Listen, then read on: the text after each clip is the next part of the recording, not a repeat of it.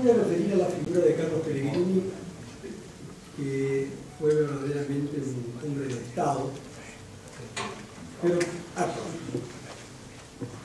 estaba diciendo que no voy a referir a la figura de Carlos Pellegrini, pero creo que es necesario hacer una descripción, yo diría casi desde los orígenes de la persona de Carlos Pellegrini, para comprender su formación y para comprender también su conducta como hombre de Estado.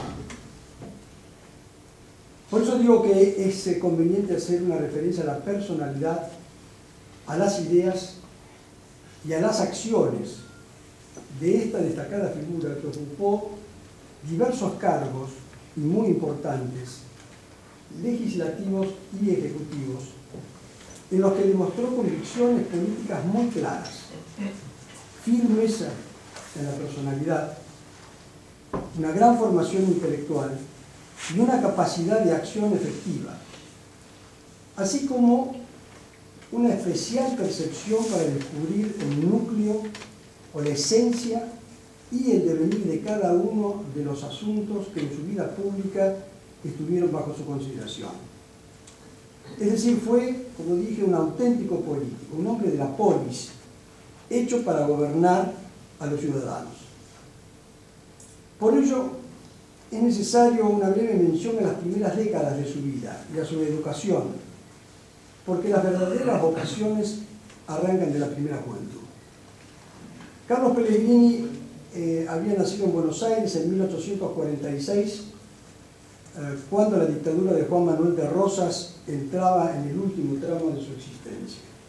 Su padre, Carlos Enrique Pellegrini, natural de Saboya, cuando esa región aún pertenecía al reino del Piamonte, había sido llamado por Bernardino Rivadavia para que se ocupara de las aguas de Buenos Aires, es decir, un mejoramiento del estado sanitario de Buenos Aires.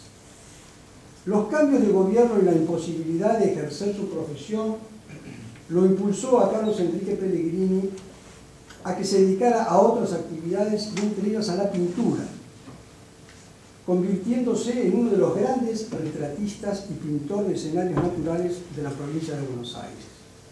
Su madre, María Vivans, era hija de un ingeniero inglés, Santiago Vivans, y sobrina de un político de orientación liberal muy importante, John Bright, que fue cofundador de la Liga de Manchester, junto con otro político y economista muy importante, Richard Cobden, sobre el cual voy a volver más adelante, y fue también un estrecho colaborador nada menos que de William Gladstone. El padre de Carlos Pellegrini fue el primer maestro en los estudios primarios de, de su hijo. Y luego los continuó con una tía materna quien impartió sus clases en idioma inglés, el cual Pellegrini lo habló con fluidez durante toda su vida, lo cual lo hace en la época un personaje bastante excepcional que fuera un hombre fluido en dos lenguas, entre ellas el inglés. Sus estudios secundarios los realizó en el Colegio Central Buenos Aires, como se, denomina, se denominaba entonces al actual Colegio Nacional de Buenos Aires. Alcanzó en este colegio gran popularidad, no por su formación académica, sino por fundamentalmente su capacidad de liderazgo y notable fuerza física y su participación y simpatía por los enfrentamientos callejeros. Era toda una discusión. Al concluir el colegio secundario, entró en la Facultad de Derecho en 1863 y la dejó en 1865 para participar en la Guerra del Paraguay. Participó como alférez y participó con una gran valentía, destacado en las inscripciones del ejército, y eh, participó en la batalla de Tuyutí, la más sangrienta de la guerra del Paraguay, pero fue la, la, batalla que decidió el curso de la guerra en favor de los países integrantes de la Triple Alianza. Cuando dejó el ejército, por razones de salud, en 1867 vuelve a Buenos Aires y finaliza sus estudios de Derecho con la presentación de una tesis sobre el derecho electoral en 1869.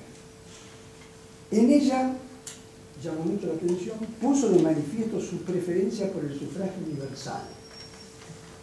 Además, rechazó los argumentos de John Stuart Mill sobre el voto censitario por considerarlo injusto para personas de bajos ingresos, pero admitió sin embargo restricciones para quienes eran analfabetos, porque pensaba que las personas podían solucionarlo fácilmente y por último consideraba que era un estímulo para que las personas se educasen.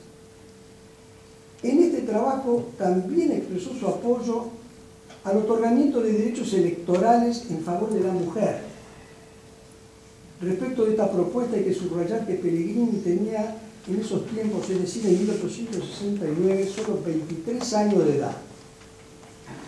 Y los derechos electorales fueron otorgados a la mujer en nuestro país recién para las, elecciones nacionales de 1947, es decir, 78 años después. Por último, también en su tesis hizo, según señala Paul Brusac, una mención a la necesidad de la protección del gobierno para el desarrollo de la industria en la República Argentina. Pellegrini se dedicó a la política prácticamente desde que terminó su carrera universitaria. Fue diputado provincial por la provincia de Buenos Aires en 1872, fue elegido diputado nacional por el mismo distrito en 1873 y en 1879 fue elegido como ministro de Guerra y Marina por el presidente Nicolás Avellaneda en reemplazo de Julio Argentino Roca.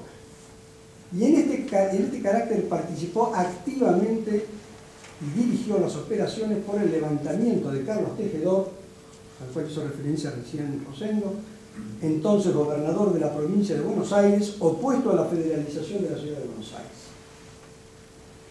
Fue elegido senador nacional por la provincia de Buenos Aires, nuevamente en 1881 y en 1885 designado una vez más como ministro de Guerra por Roca. En 1886 integró como candidato a la vicepresidencia de la Nación la fórmula con Miguel Juárez Selman. Y después de tener una participación muy activa en restablecer el orden institucional alterado como consecuencia del intento de golpe de Estado de octubre de 1890, asumió la presidencia de la Nación hasta la terminación del periodo en 1892.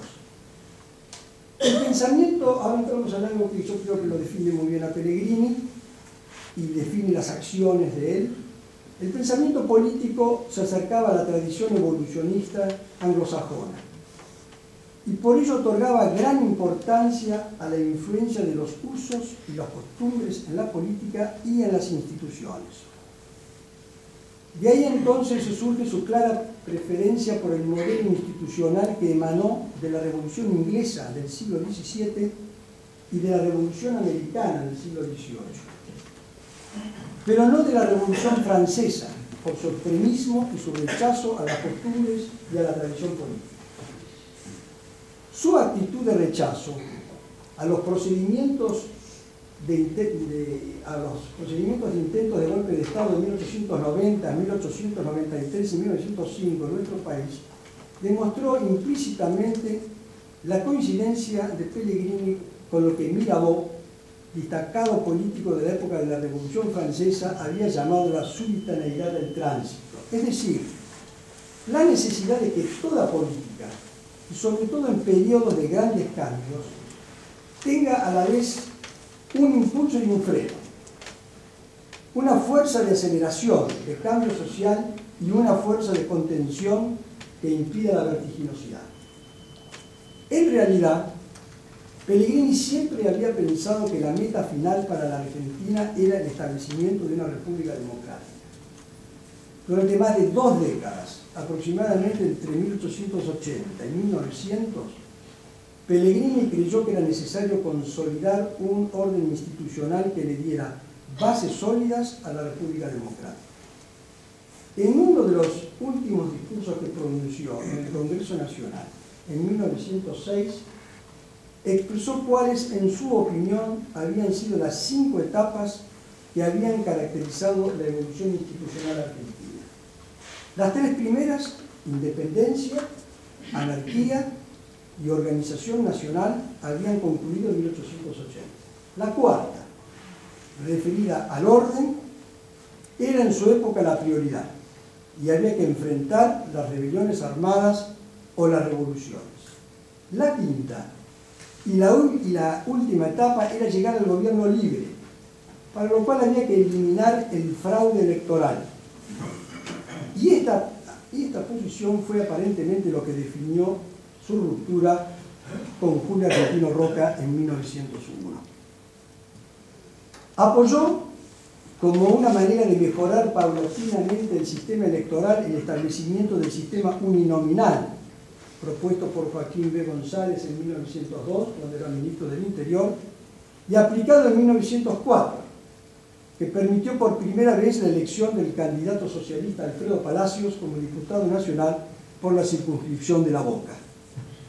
Pellegrini consideró en un principio que la venta de votos había sido un paso en la dirección correcta. Y también había afirmado en algún momento que la venta de un voto era un voto libre. Inclusive en el año 1902 había votado a favor del voto público, pero luego de su viaje a Estados Unidos entre 1904 y 1905, que es de donde emanan las seis cartas norteamericanas, se convenció del progreso que significaba el voto secreto. Cuando se produjo el levantamiento cívico-militar de 1905, Pellegrini lo rechazó de plano, pero reconoció que esos movimientos políticos eran imposibles de concebir en Estados Unidos, porque en ese país gobernaba el pueblo. Y este no se haría una revolución a sí mismo. Cuando condena un gobierno, lo cambia por medio de una votación. Carlos Pellegrini ya para esa época consideraba que el modelo político de gobierno más adecuado era el que se encontraba en desarrollo dentro del republicanismo en Estados Unidos durante la presidencia de Theodore Roosevelt. Al referirse a la situación de los inmigrantes y a sus derechos electorales, es interesante señalar que Pellegrini en su segunda carta norteamericana comentó que el 80% de los inmigrantes eran ciudadanos americanos naturalizados, cuyo sentimiento nacional no era inferior al de los nativos. Más aún, destacó que eran ellos los que habían dado el triunfo al programa imperialista del Partido Republicano. A continuación, describió la situación de los inmigrantes residentes en la Argentina, en la que gozaban de todos los derechos civiles, pero que no tenían el deseo de naturalizarse argentinos, porque si los mismos ciudadanos argentinos nativos no gozaban del derecho de votar libremente, ¿cómo podrían emitir ellos su voto y que el mismo fuese respetado? Por último, y yo diría con razón plena, sostuvo que el sentimiento nacional se debilitaba si en un país de inmigración el inmigrante se mantenía extranjero sostuvo que el otorgamiento del derecho de voto al inmigrante en Estados Unidos facilitaba obviamente su integración a la sociedad americana, haciendo que las instituciones fueran verdaderamente republicanas y representativas, y concluyó afirmando que ese fue el secreto de la grandeza política de los Estados Unidos. Si nos refiriésemos al pensamiento económico y social de Pellegrini, deberíamos señalar que fue uno de los pocos hombres públicos que combinó sus expresiones sobre temas políticos e institucionales con asuntos de naturaleza económica y social. Su posición en materia económica se mantuvo invariablemente dentro del proteccionismo industrial y sus preocupaciones se extendieron a los problemas de orden monetario y crediticio. El pensamiento proteccionista se había originado en algunos autores norteamericanos como Henry Carey en el siglo XIX y anteriormente entre los más destacados se encontró Alexander Hamilton en el siglo XVIII, así como en los economistas alemanes del siglo XIX como Federico List, autor de una obra Sistema Nacional de Economía Política que escribió luego de haber residido en Estados Unidos para conocer y absorber las posturas de los proteccionistas americanos. En agosto, y esto es muy interesante, de 1876, se debatió en la Cámara de Diputados de la Nación, de nuestro país, un proyecto de ley de aduanas enviado por el Poder Ejecutivo, con el fin de unificar los aranceles en concordancia con una política librecambista. Este proyecto fue rechazado y Carlos Pellegrini, presidente de la Comisión de Presupuestos de la Cámara, presentó un nuevo proyecto, grabando las importaciones con un derecho de aduana del 45% para la importación de productos manufacturados susceptibles de ser producidos en un país se liberaba de todo impuesto a los artículos destinados a ampliar la producción nacional y se grababa, para recaudar fondos con fines fiscales, a las exportaciones con un gravamen del 6%. Este proyecto no fue aprobado tampoco y debemos expresar que Pellegrini no logró plenamente los objetivos que se había fijado en materia de industrialización de nuestro país. Hoy, hoy mismo se continúa observando una realidad que muestra la debilidad relativa del otro sector industrial. En 1902, Carlos Pellegrini le dirigió una carta muy ilustrativa sobre su pensamiento al exministro Ángel Floro Costa de Uruguay, en la que afirmaba en esos tiempos todas las naciones eran proteccionistas y que no había en el mundo un solo estadista serio que fuera librecambista.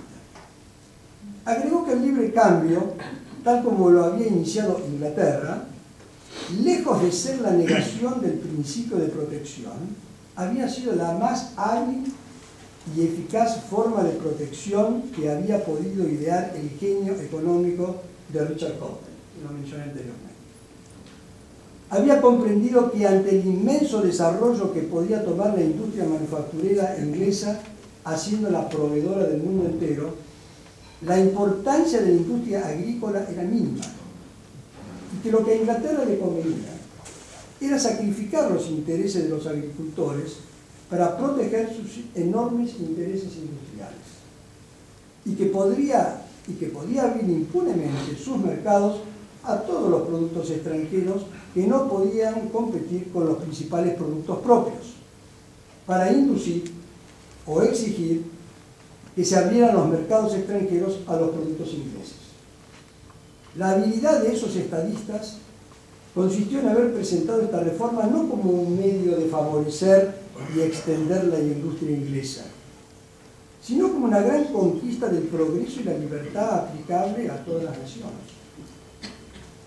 Pero esta teoría no alcanzó a seducir a todo el mundo, en realidad. Y estadistas inteligentes, como los americanos, desconfiaron de los británicos y de sus generosidades. Y cerraron sus mercados al producto inglés, a fin de que pudiesen hacer y prosperar la industria propia.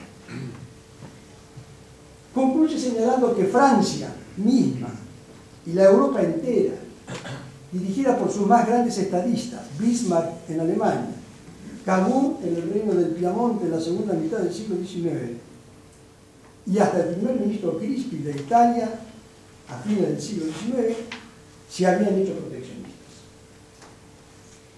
Después de la crisis política y económica de 1890, y ya en ejercicio de la presidencia, Carlos Pellegrini tomó decisiones muy importantes como la fundación del Banco de la Nación Argentina, cuyo objetivo esencial fue el otorgamiento de créditos a la industria y el comercio. Y en el discurso en el que puso en posesión del cargo al primer presidente del Banco de la Nación Argentina, hizo referencia a la necesidad de la promoción de la pequeña y mediana industria. Parece que estamos hablando del año 2016. Estas son palabras que seguimos escuchando. El cargo de presidente de la Nación Argentina fue ocupado por una persona de su amistad, Carlos Casares, propietario industrial importante del sector lácteo, léase La Martona. Asimismo, dispuso la creación de la caja de conversión que permitió establecer un orden monetario a nivel nacional. Su cierre se produjo en 1929 como consecuencia de la crisis mundial iniciada ese año y no fue reemplazada hasta que se creó el Banco Central de la República en 1935. Por último, decidió establecer con fines fiscales, los aún vigentes, impuestos internos. Entre las medidas financieras que Carlos Pellegrini consideró adoptar como consecuencia de la crisis de 1890 se encontraba el respaldo que la banca Rothschild daba a un empréstito, consolidando una moratoria de tres años en favor de la Argentina y que implicaba el embargo preventivo sobre los ingresos aduaneros de nuestro país. El gobierno de Pellegrini dudó y consultó con Estados Unidos sobre la posibilidad de una apertura financiera y económica. Sin embargo, en realidad la operación no se concretó porque la dirigencia argentina no hubo una voluntad clara de cambiar las relaciones especiales con el Reino Unido. En octubre de 1891, cuando Estanislao Ceballos fue designado ministro de Relaciones Exteriores, la Argentina ya había emprendido el camino hacia una normalización política después de la crisis de 1890. Y con la incorporación de Ceballos entraba al gabinete ministerial una personalidad que tenía una gran realización política y que era en ese entonces presidente de la sociedad rural y un simpatizante de Estados Unidos, que sin embargo tampoco deseó desvincular a la Argentina de la relación especial que tenía con algunos países de Europa Occidental y en particular con el Reino Unido. Si volvemos a las cartas norteamericanas, en la última parte de, de la segunda carta, Pellegrini se refiere elogiosamente al dinámico desarrollo industrial de Estados Unidos, basado, entre otras razones, en la disponibilidad de hierro y de carbón a pequeñas profundidades Afirma también que el impulso en la explotación de hierro se incrementó extraordinariamente cuando se encontró un inmenso yacimiento en el estado de Minnesota cerca del lago superior, en un sitio del cual había que solo remover la capa de humus y cargar el hierro como si fuera arena.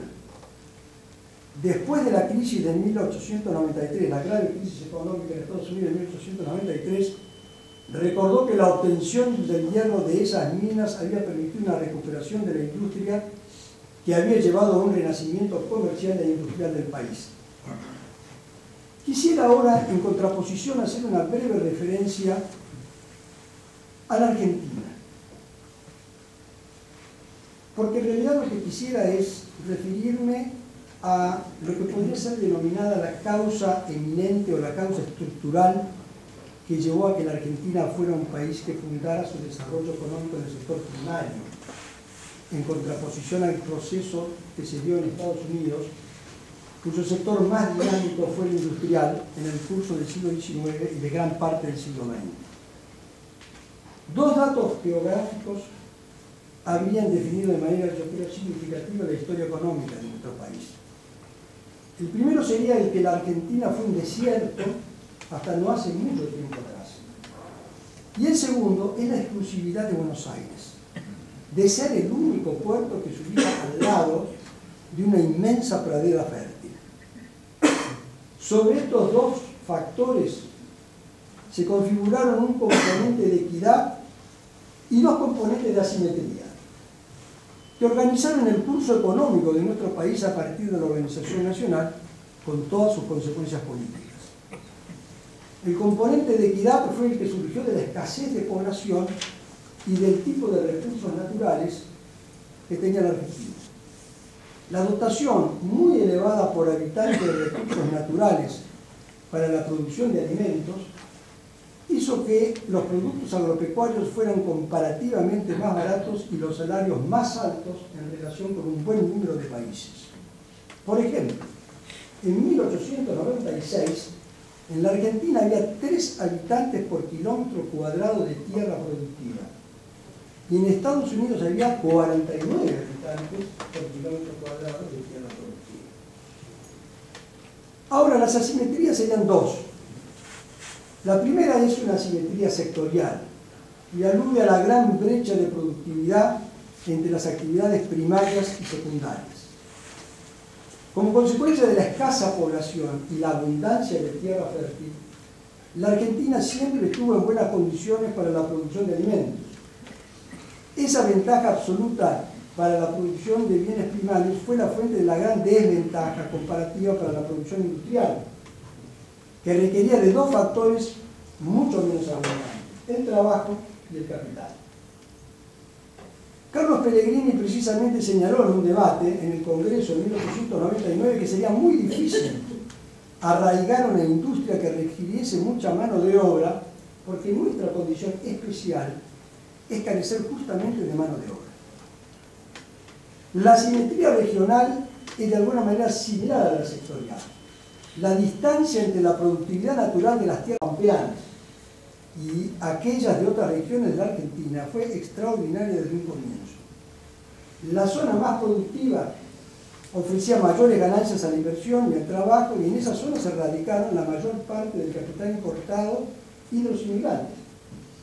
Mientras que la mayoría de las otras regiones dependieron de una acción estatal compensadora.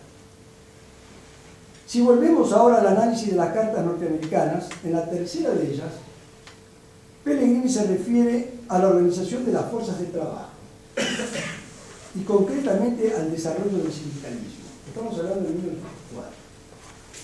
Al respecto señala que en cada ciudad de la Unión, los obreros de cada gremio, o de gremios conexos, relacionados por el tipo de producción, formaban su labor union o sindicato Agregaba que en Washington estaba la sede de la Federación Americana del Trabajo, de organización federal, que se reunía cada año para discutir los intereses de la asociación. Estaba previsto también la realización de huelgas, en caso de que no tuviese éxito la conciliación entre las partes. Pellegrini subrayaba también que no estaba permitida la afiliación a ningún partido político de extraordinaria importancia. Y destacó por último que las doctrinas socialistas no habían tenido ningún eco en los medios políticos del sindicalismo de la época.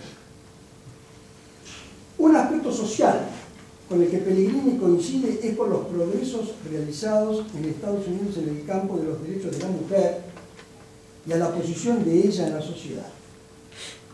En efecto, en la cuarta carta norteamericana comenta los avances producidos que han permitido que la mujer pueda realizar estudios hasta los niveles superiores de la universidad, trabaje en cualquier sitio sin discriminación por razón de género y pueda contraer matrimonio libremente, contribuir a la formación de una familia y a divorciarse si así lo consideraba necesario.